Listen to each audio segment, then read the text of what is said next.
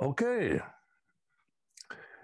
Hello, dear saints. This will be the final lesson in our series on biblical faith. Welcome. Ну, здравствуйте, дорогие святые. Сегодня у нас будет с вами заключительный урок по теме библейской веры, так что всем добро пожаловать, кто нас слушает. And today we will talk about faith and works and love. Сегодня мы будем говорить о взаимосвязи веры, дел и любви. I don't know if you have these kind of people uh, in your place. Whenever you mention the word fa- the work, the, the word works, they immediately shut down and say, no, no, don't talk to me about works. It's all grace, grace, grace, no works at all. Я, конечно, не знаю, в ваших церквях или среди ваших знакомых есть ли такие люди, которые встречаются у нас на Западе и которые каждый раз, когда они слышат слово «дела», они моментально негативно реагируют, они закрывают свое сердце и говорят, ой, нет, какие дела, сейчас благодать, благодать, благодать. But the New Testament has a lot to say about works and how, why they are so important. Но Новый Завет на самом-то деле нам очень много чего говорит именно о делах и почему дела так важны. Of course, these are not the works that make us righteous before God, because this is by faith and through grace. И, разумеется, речь не идет о делах, которые должны приобретать э, нам спасение, которыми мы заслуживаем спасение, потому что спасение приходит по благодати через веру и никак по-другому. But the works that the New Testament is talking about are the works that come as a consequence of our faith. Но дела, о которых говорит нам Новый Завет, это дела, которые являются следствием или плодом веры в наших сердцах. And these kind of works are very, very important. James says faith without works is dead. It means it's not a real living faith and it will not produce anything. И дела эти на самом деле имеют гигантское значение. В частности,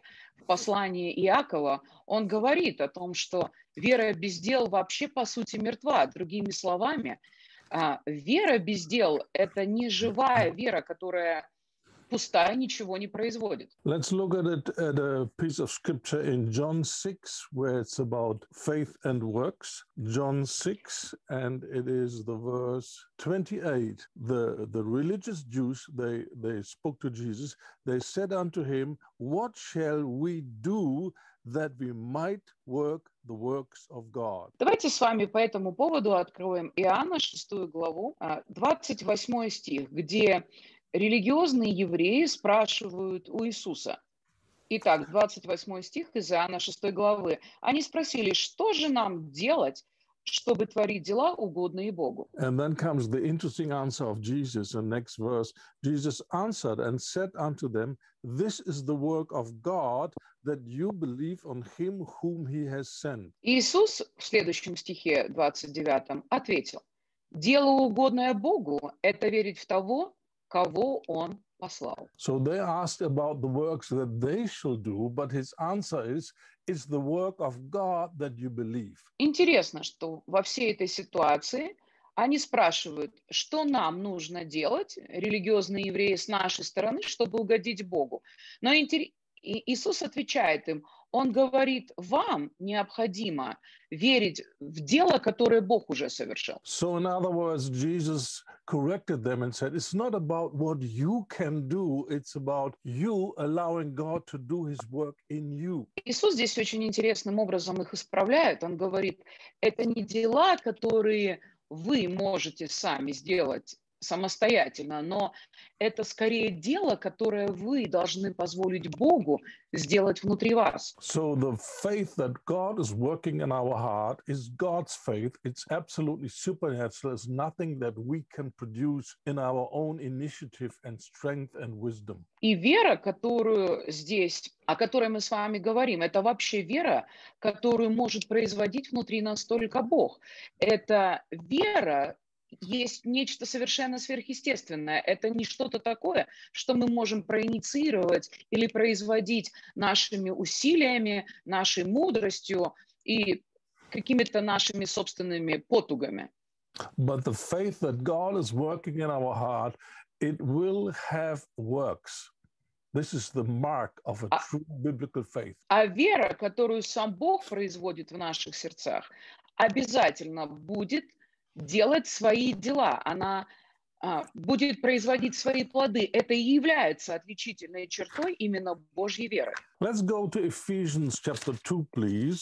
Давайте с вами еще посмотрим Ефесянам вторую главу. And here Paul speaks about God's plan for our life and uh, the things that he has prepared for us. А, Здесь Павел говорит о Божьем плане для жизни каждого из нас, о всем том, что сам Бог для нас приготовил. Ephesians 2, verse 10 For we are his workmanship, created in Christ Jesus unto good works, which God hath before ordained that we should walk in them. Ефесянам 2.10, читаю вам. «Мы теперь новое творение Божие, создано в Иисусе Христе для совершения добрых дел, которые Бог предназначил нам совершать». So we are called to do works, Мы однозначно призваны совершать дела. but these are not our works. These are the works that God has prepared for us. They are already prepared in future for you, and you should understand and see them and, and grab the opportunity and then do the works of God. Но это не такие дела, которые мы сами по себе можем производить или инициировать. Это Божьи дела, которые Он еще до нашего рождения приготовил для нас и которые нам важно понять, осознать и ухватиться за всякую возможность исполнять именно Божьи дела в нашей жизни.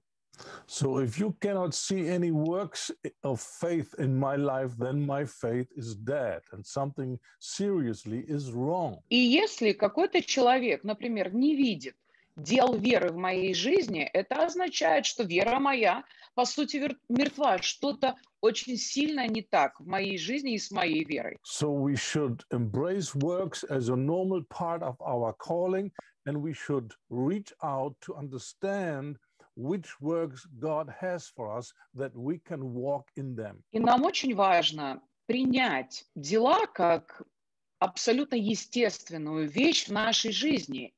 И мы должны сделать все от нас возможное для того, чтобы искать этих Божьих дел в нашей жизни и решить, какие из них на самом деле Бог для нас приготовил. And in order to find these works and to walk in them, one thing is very important, and that is love. И для того, чтобы эти дела веры, приготовленные Богом нам понять и начать ходить в них, то есть исполнять их, здесь важен очень один такой элемент – это любовь. Paul says in Galatians 5 6 that faith works by love. В Галатах, в пятой главе, в шестом стихе, Павел говорит, вера действует любовью. So that means if we want to have works for the glory of God, we need to make sure that we are motivated by love. This is the motivation that will produce the right kind of works. Важно нам, исходя из этого, понимать, что любовь чрезвычайно важна. Она может быть, если мы хотим делать по-настоящему Божьи дела, мы должны быть а, в этих делах движимы любовью. As you remember, Paul says in 1 Corinthians 13 if I have all faith but have no love, I'm nothing. It's just all Именно there, поэтому, nothing. как вы, наверное, помните, Павел и сказал об этом в 1 Коринфянах, в 13 главе, он сказал, я могу иметь просто всю веру, но если я не имею любви, я ничто. Без любви на самом деле все, что мы делаем, становится мертвым. And we must be very careful to make sure that we are not self centered and motivated just to, to get things and, and, and to be blessed. And, and always the center is me and me and me and nothing else. И нам очень важно проследить за своей жизнью, чтобы мы не делались эгоцен- эгоцентричными, когда все в нашей жизни сводится только к я, мне, мое, к тому, чтобы мне преуспевать, к тому, чтобы мне быть благословенным. Paul says we are the, uh, as as uh, children of God. We are the the um, spiritual descendants. We are the children of Abraham. Павел говорит нам очень ясно, что мы с вами сегодня, являясь верующими, являемся потомками Авраама. And we have inherited the blessing of Abraham. И мы с вами, в свою очередь, являясь его, его потомками, унаследовали благословение Авраама. And this blessing of Abraham had two aspects. Что такое благословение Авраама? Благословение Авраама э, имеет в себе две составляющие. And God said to Abraham, I will bless you, and you will be a blessing for many. You will be a blessing. Если мы в такой укороченной версии это э, скажем, Бог, во-первых, пообещал Аврааму, что он во всем его благословит, то есть, что Авраам будет благословен. И во-вторых, Бог сделает Авраама благословением для всех народов земли. So if you take your faith faith serious, then you you will make a decision. Uh, yes, I want to be blessed, but I want to be a blessing. The purpose of my blessing is so that I can be a blessing for others. И если вы серьезно относитесь к вашей вере, то вы тогда обязательно возьмете в расчет эту вторую составляющую благословения Авраама. Да, я хочу быть благословенным, но я хочу быть благословенным для того, чтобы стать благословением для других в свою очередь. Our our life or our calling has two aspects. We are here to bring glory unto God, and we are here to be a blessing for other people. That is why we live. И наше общее с вами призвание тоже состоит из двух вещей. Во-первых, я хочу жить ради славы Божией, а, однозначно, но и во-вторых, я точно так же хочу быть благословением для окружающих меня людей. And I'm afraid many people, many Christians, they they always look at themselves and they never manage to to solve their their their basic life problems and they never come to the point where they are a blessing for other people. И к моему большому сожалению, правда, иногда складывается такое впечатление, что у многих христиан все сводится только к тому, чтобы свою жизнь как-то наладить. На самом деле многие люди, они затрудняются в том, чтобы решить какие-то простые, основополагающие моменты в своей жизни, так что они никогда не доходят до этого момента, чтобы быть уже благословением для кого-то еще. And the reason is that uh, these people, they always think about them, themselves. Lord, bless me and heal me and restore me and set me free and and uh, just me, me, me. И проблема как раз-таки, она и упирается в то, что люди, они настолько зациклены для, на себе. Такие люди говорят, Господь, благослови меня, исцели меня, восстанови меня, сделай для меня вот то и это. То есть это всегда я, мне, мое. But the root of our problem is the selfishness. And if we have selfish motivation, just bless me, bless me, bless me, then we can never get set free to be a blessing to others. Но, к сожалению, именно вот этот корень эгоизма, он часто и мешает нам выйти из наших личных проблем. И мы так и не становимся благословением для кого-то еще. And the motivation why you should seek healing and restoration and deliverance is not so that you can have a better life, but that you can glorify God, be an example of the powerful work of redemption, and be a blessing to others. That is the purpose. Вера, действующая любовь. Да, на самом деле, в нашем стремлении быть благословенными – очень важно нам выйти за пределы самих себя. Но когда мы хотим получить благословение не только ради того, чтобы нам иметь лучшую жизнь, а потому что мы хотим, чтобы через это а, прославился Бог, для того, чтобы нам быть примером для каких-то окружающих людей и для того, чтобы послужить этим людям благословением. And because I saw this danger of, of self-centeredness, self-centeredness. I decided many years ago, it's a long time ago, to add to my prayer list a certain prayer. И потому что достаточно давно я увидел эту опасность человеческого эгоизма и зацикленности на себе. Именно поэтому я добавил в свой молитвенный список определенную молитву еще много лет тому назад. For my devotional life, I have a, a prayer list. This is prayers that I uh, think that the Holy Spirit has given me to to stay focused on Jesus and and His glory and and yeah to live, to find the calling of my life. Э, В моей жизни молитвенной, в моем личном общении с Богом у меня есть определенный список молитв, которые, я верю, Дух Святой положил мне в сердце для того, чтобы я в течение всей своей жизни мог быть человеком, который смотрит на славу Иисуса, который ищет именно Божьего. То есть у меня есть определенные вещи, которые сложились годами, и о которых я постоянно молюсь. So uh, this is the prayer that I added to my list many, many years, decades ago, in which I pray on a regular basis, even until today. I pray it again and again and again. И вот есть у меня вот такая молитва, которую я добавил уже несколько десятков лет тому назад, но которой я молюсь и по сей день. And the prayer is, Lord, give me the heart of a servant. Я постоянно говорю это пред Богом. Я говорю, Господь, дай мне сердце слуги. I believe that is a very important prayer and God will answer it. И я верю, что молитва эта короткая, но очень важная, и Бог ответит на нее.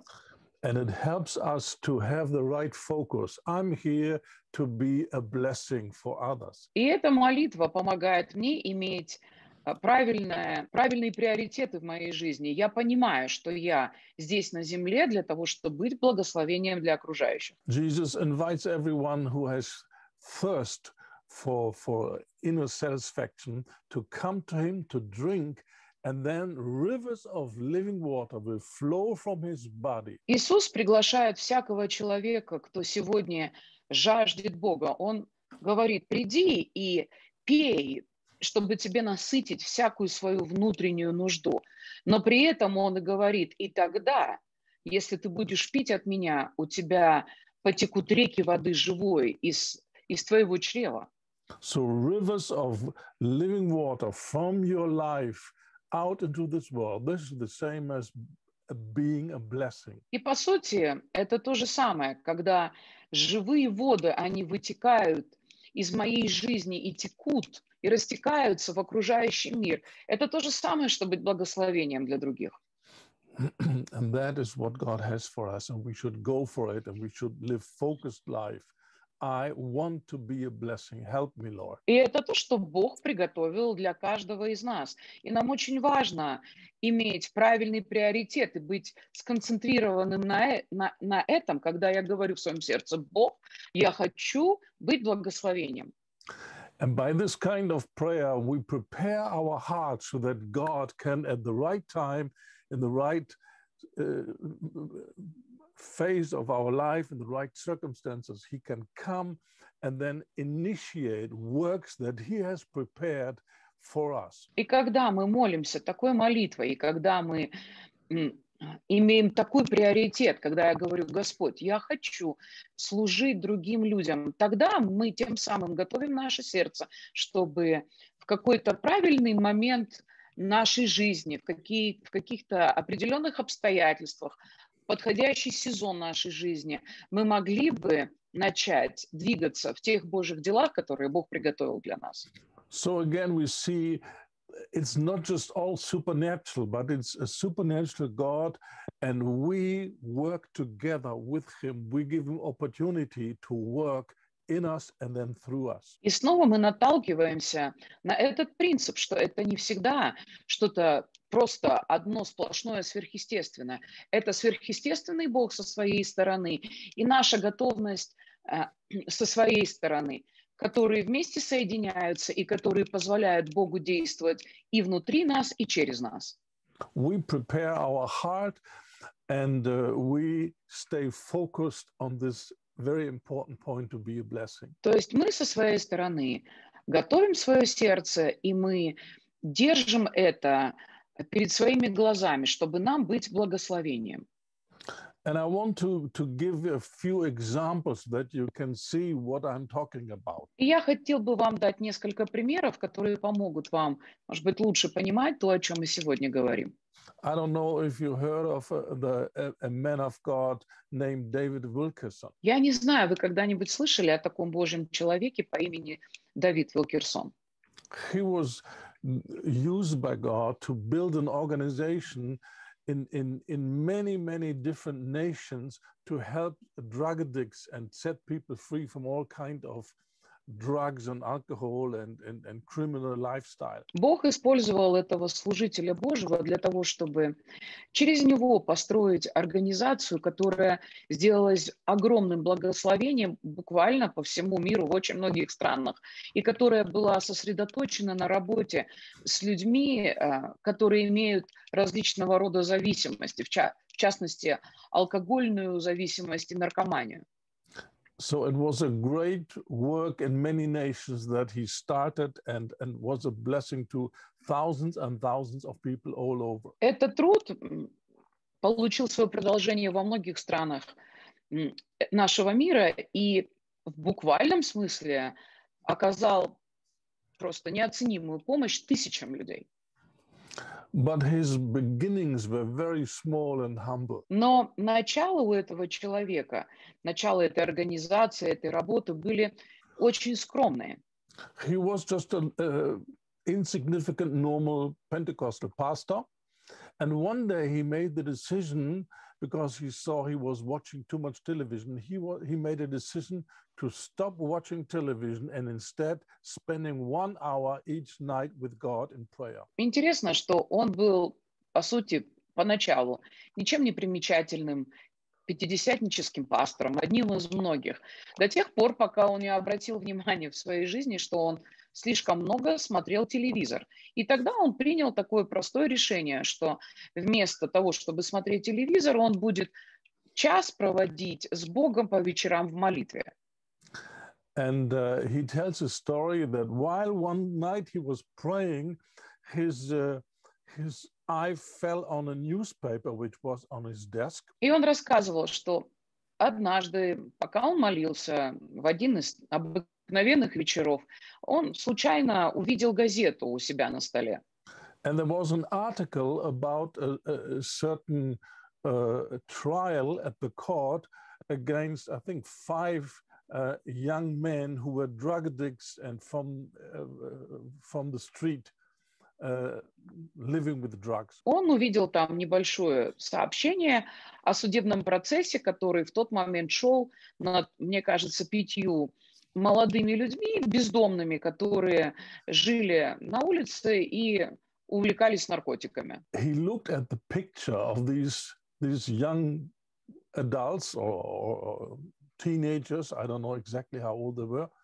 He looked at them, and then by the Spirit, he was grabbed with the compassion of God. He saw those poor kids in bondages of drugs and all this. И там при этой статье была еще фотография сделана этих молодых людей, были ли они там, я не знаю, молодыми людьми или все еще подростками, я точно не помню. Но смысл заключается в том, что когда он посмотрел на эту фотографию, то Духом Божьим Господь смог захватить его сердце и наполнить его сердце состраданием к этим молодым погибающим людям. And his heart was really gripped by the compassion of God, and he started to pray for these five young men at the court. И его сердце, захваченное состраданием, оно просто повлекло его молиться за этих пятерых молодых людей, которые в тот момент а, находились под следствием. And after several nights of prayer for these uh, drug addicts, he felt led to to to take his car and go to New York and and and and see the situation of the young people on the street with drugs and and all this. Потом, спустя несколько дней молитв за этих молодых людей, он решил, что он сядет на машину и поедет в город Нью-Йорк и посмотрит, что там происходит именно вот в этой сфере молодых бездомных людей, которые живут на улице и просто наркоманят. And uh, again and again he would drive to New York and, and, and, and walk on the street and pray. And then finally he came in contact with these young people, not the five from the court, but with these many, many young people on the street living in drugs and, and all the dirt and everything. И это был его в конечном счете не единственная, это, это была не единственная его поездка, но он ездил регулярно в Нью-Йорк, и он ходил по этому городу и молился. В конце концов, он делал это до тех пор, пока он не познакомился с разными молодыми людьми, не, не, не теми именно, а, о которых он видел фотографию, но а, он познакомился с разными уличными людьми в Нью-Йорке, которые сидели на наркотиках. And he began to preach the gospel to them, and, and more and more young people came to faith in Jesus and were, were, were then prayed for and set free from this addiction. И он проповедовал этим людям Евангелие, и все больше и больше людей стало приходить ко Христу и по молитве освобождаться от своей зависимости. And this is how this work uh, of mercy started just by praying and seeing a photograph in the newspaper. Вот такой труд милосердия, он начался с человека, который просто решил сначала молиться и искать Бога, а потом просто обратил внимание на газетную статью. I'm sure many, many more Christians saw the same photo in the in the newspaper, but nothing happened. И я уверен, что, наверное, очень многие христиане например, ну, речь идет об американцах в данном, в данном случае, они, скорее всего, видели и читали ту же самую статью, но в их жизни это ничего не зажгло. But because he prepared his heart, the Holy Spirit could touch him and then lead him into totally new dimensions of his life and, and, and, and ministry. Но потому что это человек, начал со своей стороны делать все, чтобы приготовить свое сердце, Дух Святой мог взять его и использовать его, и повести его совершенно в другом измерении, вообще и в его жизни, и в его служении как таковом. I want to give you a quote of another mighty man of God, and uh, it will show you his motivation, why he did what he did. Хочу вам еще сейчас упомянуть одну цитату, которая была сказана одним а, известным служителем, но которая очень хорошо демонстрирует то, почему он делал в своей жизни то, что он делал. His name is William Wilberforce. Maybe you never heard this name, but in the Christian English world, he is quite famous. А, человека этого звали Уильям Уилберфорс. И, может быть, вы никогда не слышали такого имени, но в англоязычной среде этот человек довольно известный. He lived a long time ago. He was born in 1759 and died in 1833. So this long time ago. Человек этот жил довольно давно. Он родился в 1753 году и дожил до... Uh, till what time did he live? 1833? 35, I'm sorry. Да, а умер он в 1833 году, так что это было довольно давно, как вы понимаете. So these were the days when they still uh, practiced slave trade. Но это были как раз те самые времена, когда в Англии в том числе практиковалась работорговля. Yeah, you probably heard about it. The, the, the white people from Europe, from England, but also from other countries, they went to Africa and they, they, they caught natives of Africa, black people, and put them in chains and brought them on ships to America to sell them as slaves. И вы же понимаете, как все это происходило. Белые люди из Англии, ну и не только из Англии, но со всей Европы, они плыли на кораблях в Африку, и там насильно ловили чернокожих людей и заковывали их в кандалы и брали в рабство и привозили их в Европу. And many, many black people died and were abused and had a terrible life. And uh, that was normal Но... in those days. Многие чернокожие люди жили ужасной жизнью, они пережили жуткие злоупотребления, многие из этих людей погибли. Но, к сожалению, в те годы это считалось абсолютной нормой.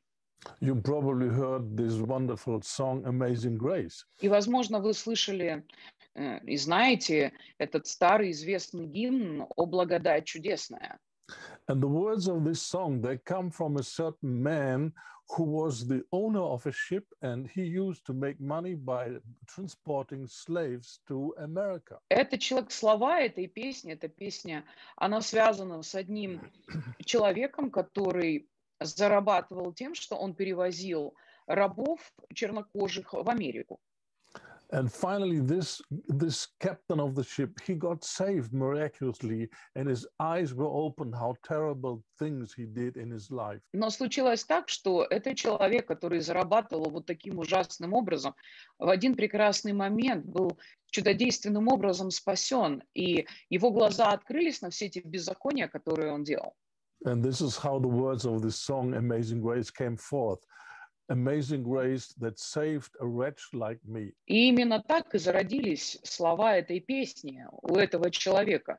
А, И, как вы знаете, слова э, звучат так. «О, благодать чудесная, та, что спасла меня», но на самом деле он, он пел, которая спасла такого, ну, негодяя, можно так сказать, как я, такого вообще никчемного story- человека. And the story of this ex-slave trader uh, came to Wi- John uh, to William Wilberforce. В один прекрасный момент Уильям Уилберфорс услышал историю капитана корабля, который спасся и осознал. And, and William Wilberforce was a politician. He was a member of the British Parliament. А Уильям Уилберфорс был известным политиком, он был членом английского парламента. And by a supernatural act of God, his eyes were opened and he saw how terrible this whole thing of slave trade is that was common in his days. Опять благодатью Божией этот человек был потрясен, он пришел в себя и увидел, насколько это нечестивая и ужасная вещь, работорговля, которая в те годы в его обществе была абсолютно приемлемой. So the, here's the quote now, which reveals the touch of God on his heart. Итак, я вам его цитирую. А, Эта цитата передает Божье действие в его сердце. Listen what he had to say. The corruption of the slave trade seemed so enormous to me, so terrible and so irreparable that I have unreservedly decided to abolish it. Он говорит, Shall we put it in, Извращу- in, in, in smaller portions? no, no, it's okay.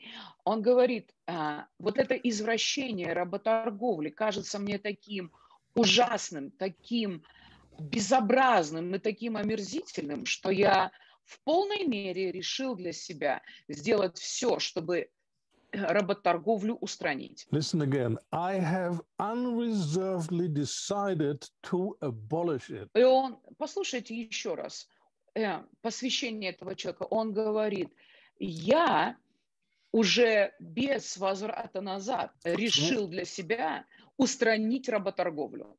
So one man, under the inspiration of God, rose up and decided to change society. Речь идет об одном человеке, который под Божьим действием просто восстал и решил изменить все окружающее его общество. And he continues, May the consequences be as they want.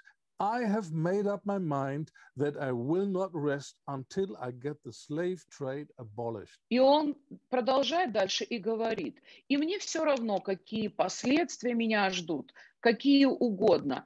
Я решил, и я это сделаю. Я добьюсь того, чтобы рабство было отменено. And he was well aware that he will have many enemies because many, many people made a lot of money with the slave trade and they were very influential in society. Уилберфорс прекрасно понимал, что такого рода действия с его стороны, они произведут огромных врагов в его жизни. Причем он знал, что известные и очень богатые люди занимались работорговлей, и они немало на этом обогащались. But he was not afraid of the consequences. He just felt God wants to use me in this way. And he gave his whole life to fight against slave trade. И он понимал, что э, у него будут всякого рода большие неприятности и последствия, но независимо от этих последствий, угрожавших ему, он посвятил свою жизнь на то, чтобы сделать то, что Бог от него хотел в тот момент. But slave trade was, was, was considered to be a very normal thing. And it took many, many, many years for him to change the view of people in the society. И так как работорговля считалась абсолютно обыденным и нормальным занятием, ему потребовались долгие годы для того, чтобы изменить настроение в обществе. And after decades of fighting this evil, he finally succeeded, and there was passed a law in the British Parliament that slave trade now is forbidden. И спустя многие-многие годы такой затяжной и болезненной борьбы этот человек в конце концов добился, что британский парламент принял закон, запрещающий работорговлю. And a few days after this law was passed, he went home to be with the Lord. И буквально несколько дней спустя после того, как был принят этот закон, он вернулся домой к отцу. Он отошел к Господу. Mission accomplished. Миссия завершена. There were probably many, many Christians who thought, well, I don't know, this slave trade, is this really the will of God or not? There were probably many people doubting and not sure about this thing. Честно сказать, я могу представить себе, что многие современники Уильяма Уилберфорса точно так же размышляли в своем сердце и думали, вообще работорговля это нормально, это вообще дело богоугодное или что? Я думаю, у многих людей были сомнения. But he was touched by God, and, and this touch changed his whole destiny. And he knew why he would live and what the purpose of his life would be. Но Бог смог затронуть его сердце, и это изменило навсегда его судьбу. Он понимал, ради чего ему После этого следует жить. So what was the difference between him and many, many other Christians in those days? И интересно, что же было такого другого в нем, что отличало его от многих современ... современников христиан?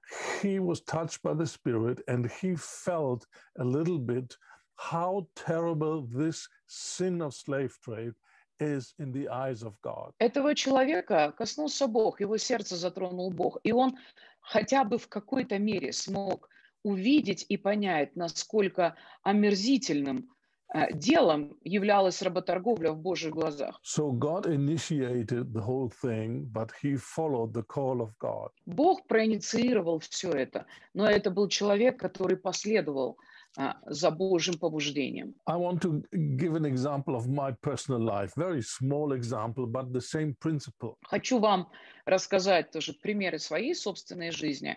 Скромный пример, но который описывает тот же самый принцип. I grew up in Western Germany, but when I became a Christian, two years after I became a Christian, I was led from by God to to to uh, change my place of living in Western Berlin. Я родился на территории Восточной Германии, но uh, спустя какое-то время после того, как я уверовал, Дух Святой побудил меня сменить место жительства и переехать в западную часть Берлина. As you probably learned in at, at school, West Western Berlin, West Berlin was like an island in the communistic world in East Germany.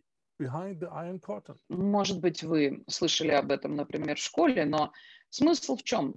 В том, что западный, западная часть Берлина это, это был почти что остров, который был окружен такими э, просоветскими вещами. And only when I lived in West Berlin, my eyes were opened what a terrible thing communism is and what it's doing to people. И только когда я переехал в Западный Берлин, там мои глаза в определенном смысле открылись на, на то, насколько ужастен по своей сути был коммунизм и что он делает с людьми. One day I was invited to uh, kind of a, a private party uh, coming together of Christians, and that took place in, in, in East Berlin, in the communist И uh, part of меня как-то раз в продолжении истории позвали в собрание, ну, в такое просто небольшое празднование христиан, но которое проходило в восточной части Берлина. And at, at this gathering of, of people,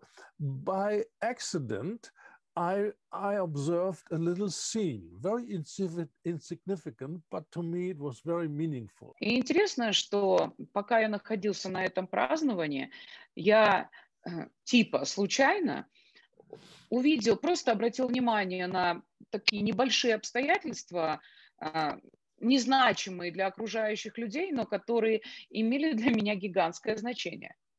I saw another brother from the West. Uh, he was from Italy. He was talking to two Christians from East Germany, communistic East Germany. Я просто натолкнулся на то, как один брат, ну, за, с Запада, он был из Италии, он вел беседу с двумя uh, братьями из Восточной Германии. And uh, at a certain moment, he opened his mantle and pulled out two audio cassettes with sermons and gave it to the two Christians. В какой-то момент их беседы я увидел, как он э, из внутреннего кармана своей там одежды достал две кассеты в те времена, которые использовали люди, и с проповедями, и передал этим двум братьям.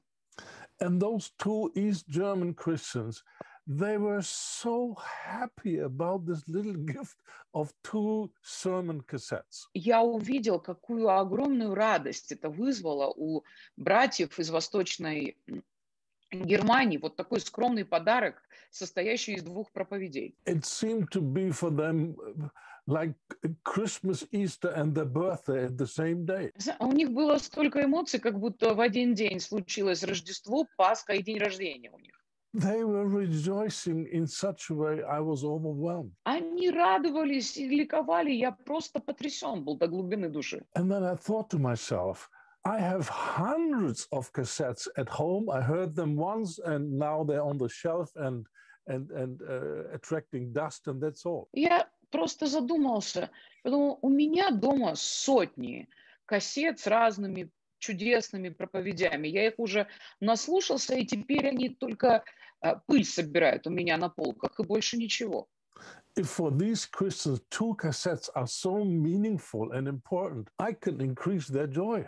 Я подумал, надо же, если две кассеты у этих братьев вызывают такую радость и такую благодарность, я однозначно могу посодействовать к умножению этой радости. So I, I, I decided I decided, I don't say God spoke to me. I just decided by sawing this scene, I decided I will bring them some cassettes. я подумал в этот момент и решил для себя. Я не могу сказать, что это Бог меня как-то вдохновил или побудил, я там голос Божий услышал. Просто я решил для себя, что я этим братьям привезу кассеты и все. And uh, I prepared my, my, my car in a special way so that I could uh, find space to hide the cassettes. There were about 50 cassettes. I would hide them in the car. Я устроил свою машину таким образом, я ее подготовил, что я мог припрятать приблизительно там что-то в районе 50 кассет. And then I went to the border because as a Western I was allowed to go cross the border and, and visit for one day uh, East Berlin. Да, и подъехал к границе, потому что была граница между западным и восточным Берлином, и я имел право в гости поехать на территорию Восточного Берлина хотя бы на день. But at the border, I was so frightened because I saw the soldiers there with their uh, intimidating look and behavior. And they were searching the cars for the people who were crossing the border. Но потом, когда я подъехал к границе, меня обуял такой страх, потому что я увидел там солдат, каких-то пограничников, которые, ну, у них была такая манера поведения специфическая, то, как эти люди держались, они обыскивали все проходящие границу машины. And when it was my turn to to uh, get the car searched, I was so frightened, and I was I was just in, in in great need, and I prayed, "How fool I am that I did this!" And Lord, I promise I will never do this again.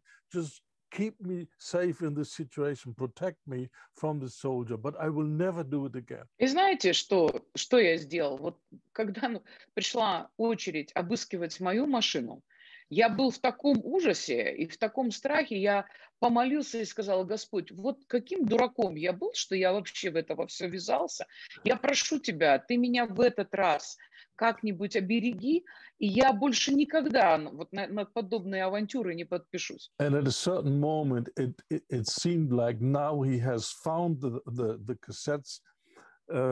In the secret place, and, and, and that's it, and I will go to jail. Да, и в какой-то момент мне казалось, что он уже как раз-таки нашел все вот мой тайник с кассетами, и меня теперь просто в тюрьму посадят.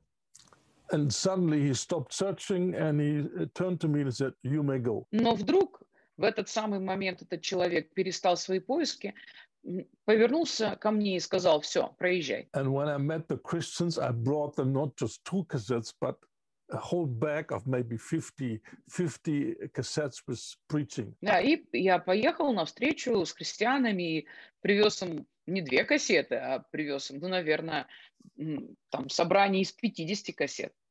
And this was just tremendous for them. И они были просто не передать радость их. A great feast.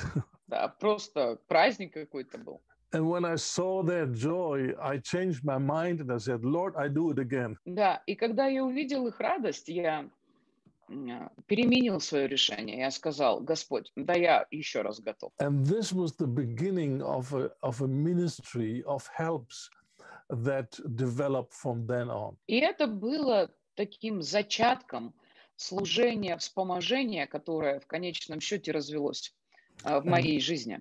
And God did uh, supernatural things, and, and, and, and He gave me a, a supernatural plan how to bring stuff over the border without being detected. И uh, все это получило свое развитие, потому что Господь в конечном счете дал мне понимание и план, uh, как я смогу перевозить вещи Восточную Европу, и чтобы меня не поймали. And supernaturally I, I got money and I got help from people, although I never published it. I never published my plan, but it just happened. И сверхъестественно появились в моей жизни люди, которые стали жертвой для этого финансы, которые предложили свою помощь. И это все было сверхъестественно, потому что я о своих вот таких начинаниях особо не распространялся.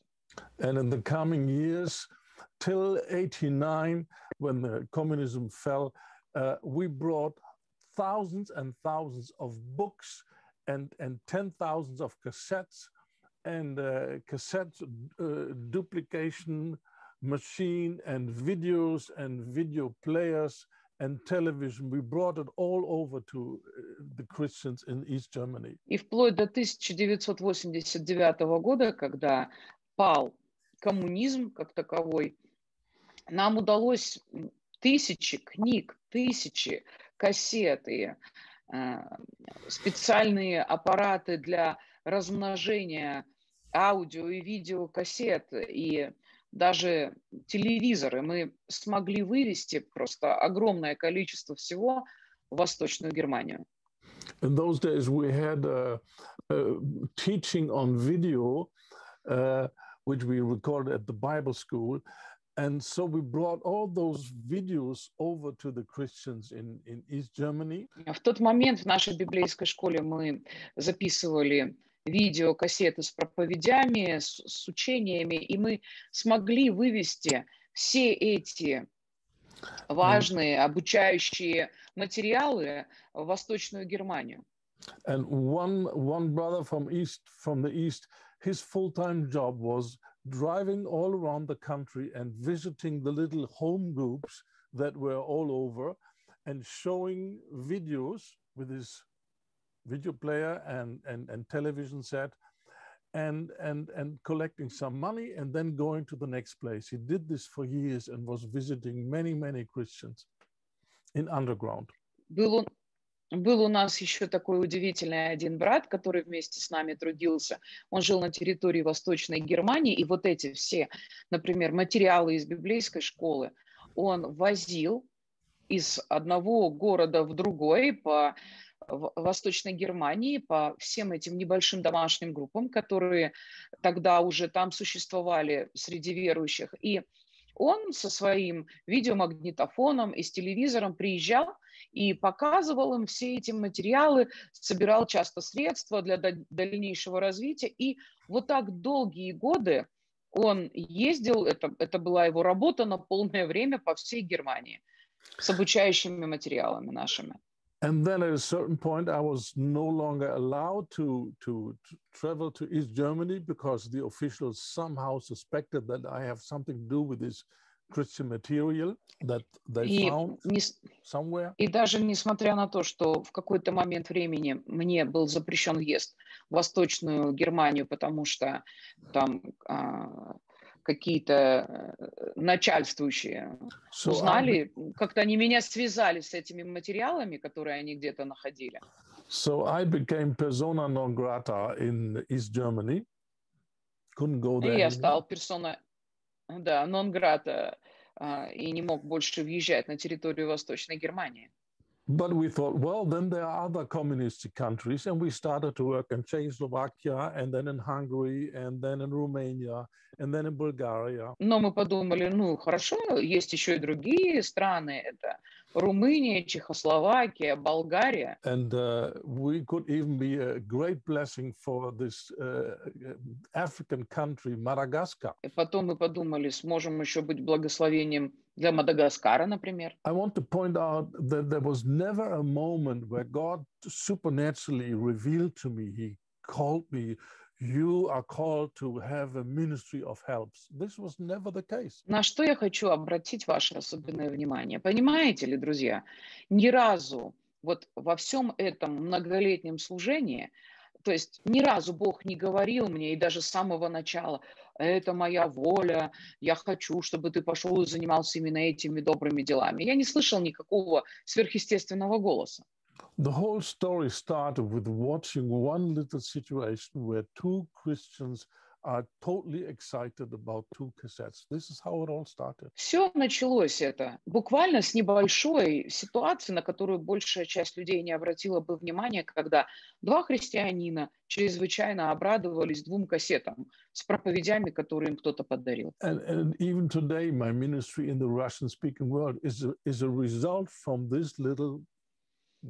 И смысл еще в том, что, например, мое нынешнее служение на территории бывшего Советского Союза является продолжением этого маленького начала. So why do I share this, these things? К чему я вам все это говорю? You are called by God to do His works and to be a blessing for others. Ты был призван Богом делать его дела и быть благословением для окружающих людей. And, and God is seeking people that, that turn to him and that he can touch and, and, and uh, move their hearts. Бог ищет таких людей, которые просто в какой-то момент готовы повернуться к Богу, чтобы Он мог их коснуться и чтобы Он мог двигаться через них. And they will be taken into a process of restoration, but then being equipped to do the works of God. Бог ищет таких людей, которые могут пройти через определенный процесс внутреннего восстановления, но которые при этом и будут одновременно оснащены для того, чтобы пойти и делать Божье дело. And I, I, I'm aware of the fact that your story will look completely different than my story, but it's the same thing. There's a God that wants to do good things, and He's looking for people that make themselves available to Him. И я понимаю, что ваша история и ваше служение, скорее всего, будут очень сильно отличаться от моей и вообще будут совершенно другой. Но это все равно не меняет сути всего происходящего.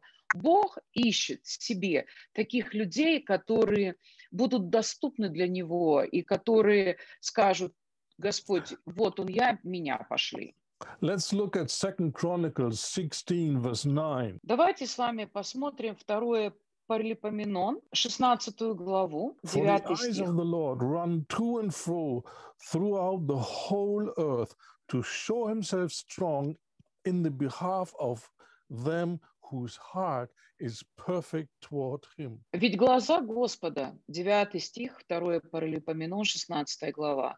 Ведь глаза Господа осматривают всю землю, чтобы укреплять тех, чьи сердца всецело преданы Ему. You need to understand the love of God compels God to do something for suffering humanity. Важно нам всем понимать, что, например, Божья любовь и Божье сострадание, они толкают Бога делать что-то практическое для страждущего человечества.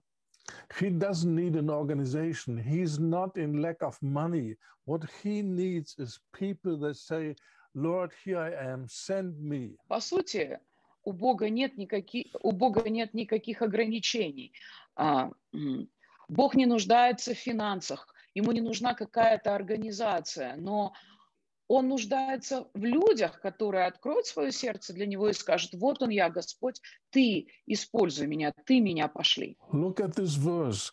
It doesn't say there was a time when God's eyes were searching the earth. It's happening right now, present tense. Посмотрите на этот стих внимательно. Там не написано, что когда-то было такое время, когда Бог искал по лицу земли. Вот таких людей нет. Это происходит сегодня, здесь и сейчас. God is looking for people that have a heart for Him and they are willing to give their whole life and their future into His hands. Бог ищет таких людей, которые отдадут Ему свое сердце, которые а, смогут посвятить Ему всю свою жизнь на Его планы и на Его цели. And they not just pray, Lord, bless me, but bless me so that I can be a blessing for others. Ищет Он таких людей, которые не говорят Господь только меня благослови, но которые в своем сердце говорят Господь и сделай меня благословением для других. And as it says here, He will show Himself strong in behalf of these people who have a heart for Him. И здесь также говорится, это, например, дос- дословный перевод с английского,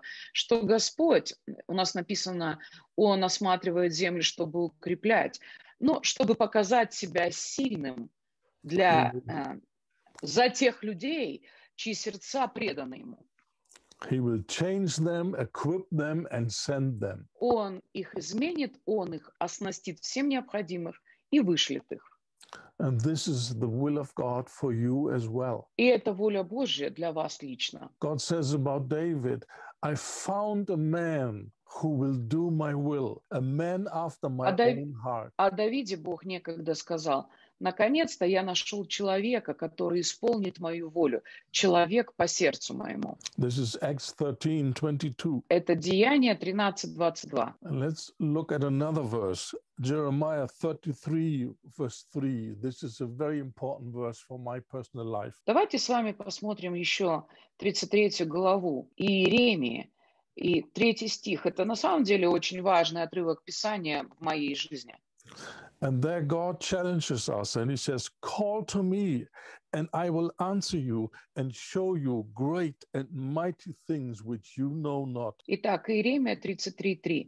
«Воззови ко мне, и я тебе отвечу, возвещу тебе великое и недоступное, чего ты не знаешь». This verse gripped me, and I, I put it into practice and said, God, I call upon you, show me great things. Here I am. Please answer me. В свое время этот стих захватил мое сердце, и я просто сделал из него молитву. Я говорил, Господь, вот я взываю к Тебе, я воплю к Тебе, и Ты обещал, что Ты ответишь мне, Ты покажи мне это великое и недоступное, чего я еще не знаю. And then one day something happened. That was a short while before this uh, experience with uh, the, the two brothers and the two cassettes took place in East Berlin. А, И а, это было незадолго до вот этой вот а, небольшой истории, которую я вам рассказал, которая случилась во время празднования в Восточном Берлине. So it happened in 80, 1986 or 87, I don't know exactly anymore. И я не помню, это был 1986, может быть, 87 год, я уже точно не And I могу was, сказать. praying, I was praying in my office, and then suddenly, in a, in, a, in a different or in a stronger way, the Holy Spirit came upon me, Я помню, что я молился у себя в офисе, и каким-то особенным образом, как-то по-другому на меня нашел Святой Дух, и я затяжное время молился на языках. And I sense something very important is happening right now. И я чувствовал, что в этот момент происходило что-то очень важное. And after a while of praying in tongues, I started to interpret what I was praying. I was speaking in German like a prophecy, which I heard, but it was a prophecy to myself. И а, спустя какое-то время после молитвы я вдруг начал истолковывать а, свой собственный иной язык. Я начал говорить по-немецки, и это было слово пророчества. Просто удивительно, что оно было предназначено мне самому. And in this prophecy, I heard God announcing judgment on the com- uh, spirit of communism. And he said, The wall will come down, the Iron Curtain will be removed, and there will be liberty for the gospel in, the, in those communistic countries. Я просто услышал, как Бог начал говорить, и Он сказал, я осужу дух коммунизма, я пролью свой суд, и э, стена берлинская будет разрушена, и придет это время свободы для бывших коммунистических стран. And this was not just an information, but to me it was an inspiration. And I knew immediately that my life is somehow connected to this plan of God, which until that day I never heard before that communism will fall. I never heard it before. И а, для меня это не была просто какая-то информация, которую я выдавал. Для меня это было нечто удивительно вдохновляющим, потому что в этот момент я осознавал, что каким-то сверхъестественным образом моя жизнь будет связана с этим Божьим планом. И, честно вам сказать, я никогда до этого не слышал, что, например, коммунизм падет. So this is how my whole life turned towards the east. This is the beginning. И так моя жизнь развернулась в сторону Востока. Это было самое начало. And then after that, the story with the two cassettes happened. И потом, после этого, произошла эта история с двумя кассетами, и все началось. So to wrap up the whole teaching on faith, let me say the following. Так, подводя итог нашему вот этому длительному разговору о вере, позвольте мне сейчас сказать следующее. And these are my final words. И это мои заключительные слова. Go after God, seek Him, give yourself to Him, ask God to, to lead you and to show you what He has in mind for you and in which way you Друзья, ищите Бога, стремитесь к Нему, приходите к Нему а, и позвольте Ему показать вам, как Он хочет вас использовать для того, чтобы вам быть восстановленным, но при этом и быть благословением для других людей. Make up your mind to be diligent in the word and in prayer and seek God every morning of your life again and again and again. Примите для себя это твердое решение, что вы будете старательны, вы будете прилежны, вы будете прилагать усилия в слове и в молитве, и что вы будете взыскивать Бога каждый день и делаете это раз за разом. and build up your faith in the word and get healed from the wounds of the past and delivered from any kind of sinful habits. Качайте веру и Слово Божие, утверждайте вашу веру в Слове, исцелитесь от болей вашего прошлого, позвольте Богу освободить вас от любого рабства и от любой горечи. And make up your mind I want to be and I will be a man or a woman after God's own heart. Выберите это для себя, решите это твердо, что вы будете человеком по сердцу Божьему. And I will find the works that God has prepared for me so that I can walk in them and be a blessing for many, many others. который обязательно найдет и будет ходить в тех добрых делах, которые Бог предназначил вам исполнять, и вы сможете быть плодоносны и сможете быть благословением для многих других людей. And your life will increase the, the fame of God in this earth. И что жизнью своей вы умножите славу Господу на этой земле. And you will be a living proof that there is a God who cares for people and who is willing to help and to bless. И что вы своей жизнью будете живым доказательством того, что есть Бог на свете, Бог, которого заботит жизни людей, живущих на этой земле, и который готов что-то сделать для них. And you will be greatly blessed by God. И тогда вы будете премного благословлены Богом. And you will be assured in your heart that there is a tremendous reward for you waiting for you in eternity. И тогда ваше сердце будет наполнено глубочайшей уверенностью, что вас ждет награда вашего Отца вечности. So growing, grow in faith and be Поэтому a растите в blessing вере. for many. И будьте благословением для других. And God will be with you. И тогда Бог обязательно прибудет с вами. Amen. Ам- Аминь. Thank you for listening, and I trust that you will do your homework and put these things that you have learned in those 11 sessions into practice,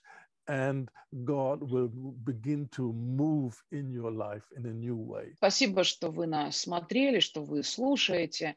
И я очень сильно верю, что вы будете людьми, которые будут делать со своей стороны свое домашнее задание, которые будут э, практиковать э, в своей жизни все эти вещи, о которых мы говорили на этих 11 уроках, и что ваша жизнь, она начнет двигаться тогда.